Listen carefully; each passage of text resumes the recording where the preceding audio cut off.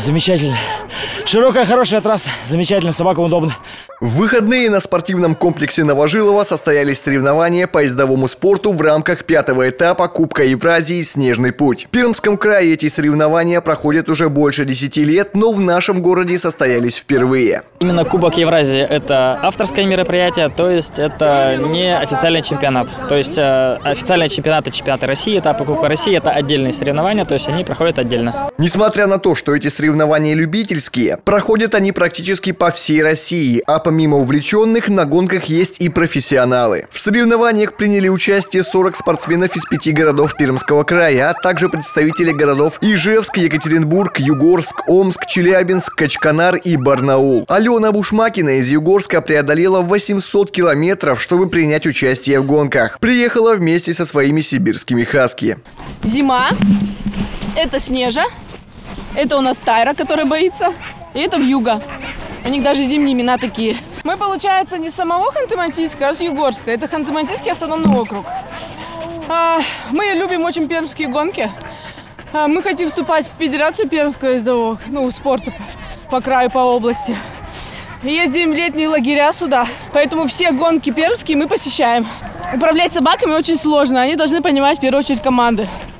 Они не должны реагировать на других собак, как у нас сейчас случилось, что гуляли с собакой, они просто пошли к ней. Вот, то есть лево-право они должны вообще четко слышать и слушаться. И, конечно же, они должны быть заинтересованы прежде всего в беге, вот, вот в этом. Тогда будет намного легче. В стартах участвовали самые разные собаки, от беговых спринтерских до тяжелых весовых собак. Есть э, скоростные и э, медленные собаки, да. Вот северные ездовые как раз подразделяются на две категории. Э, самые быстрые это сибирские хаски, это скоростные собаки, ездовые, северные именно. А есть медленные собаки, это самоеды. Это якутские лайки, маламуты. Это собаки крупные, они не могут бежать со скоростью хаски за счет своего размера, э, тяжести, да, то есть поэтому эти собаки считаются медленными.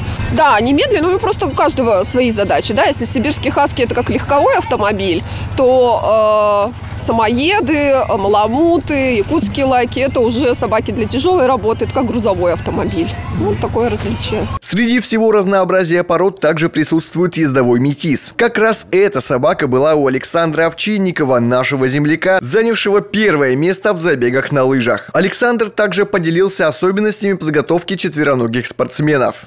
Подводится собака тренировками, тренировками, ну и перед самим стартом уже надо маленечко выдержать собаку, чтобы она поднакопилась, подзарядилась этой энергией, чтобы на такой короткой трассе, на спринтерской, чтобы она за небольшую дистанцию все выдала. Ездовые породы отличаются от обычных домашних. Бег на дальней дистанции в упряжках – это их жизнь. Радует, что и в нашем городе для всех любителей и профессионалов ездового спорта появилась возможность проявить себя вместе с четвероногим спортсменом. Евгений Шаров, Степан Некрасов, Новости Верхнекамья.